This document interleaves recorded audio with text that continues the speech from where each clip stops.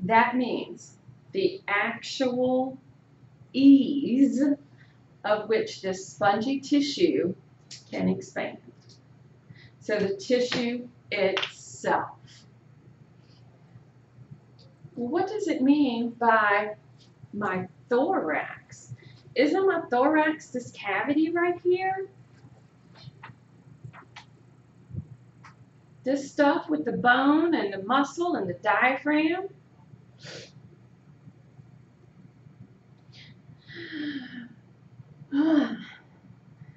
the ability of that to expand. So that could be two different issues. Somebody could have breathing issues based on the fact that that thorax cannot expand, meaning that skeletal muscle, which could mean nerve damage, whatever the case might be. The ease of the lung tissue could mean something such as um, emphysema, uh, COPD, that sort of thing. Okay? So, if somebody's got both, wow. That's a huge breathing issue that's present. So, anything that will affect my airflow is going to be resistance. You're going to encounter that when you get into the field. Your chances of encountering a person with a breathing issue are high. All right?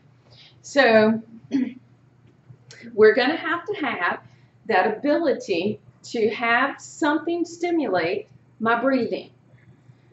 Then, is there anything that's going to affect the movement of that air? So, when I finally do get movement of air, I have air move on my alveolar side. I have air move, let's go with gases. I have gases move on the alveolar side. I have gases move on the blood side. So if I look at my alveoli, that movement is termed alveolar ventilation. So, what is going to be my volume of air that can move? Like I said, many things can affect that. Numbers that you're going to see in your textbook are based on a normal healthy male in their 20s. Okay? Other charts exist for other ages, other physical conditions, and so forth. Okay? When we look at my alveoli, they will actually affect the amount of air that will get to move because they have something called anatomical dead space. In the anatomy of that grape, of that alveoli,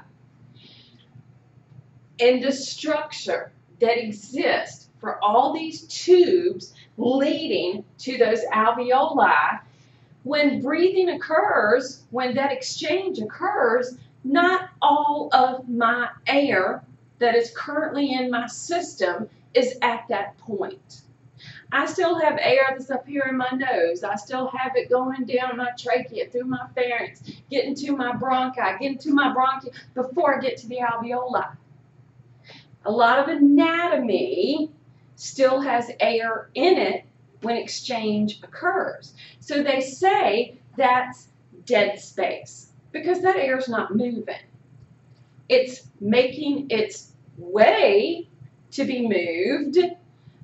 But I said earlier, I got to make sure air that gets to my alveoli for exchange needs to be 98.6. So as it's making its pathway, that's what the body's doing. The mm-hmm. body is warming and moistening and conditioning that air. So there will be an amount that stays behind in this conducting division made from all these anatomy parts and that's not air that's currently moving. Then once I get to the alveoli, where I'm going to have exchange, my physiology, there's dead space. Meaning, when I take the amount from this area right here, plus anything that cannot exchange at the alveoli, for, exa- for example, any resistance that's encountered, that will be considered physiological. Meaning that air is not exchanging either. And they have numbers for that. Take a break. Be back at 10:30.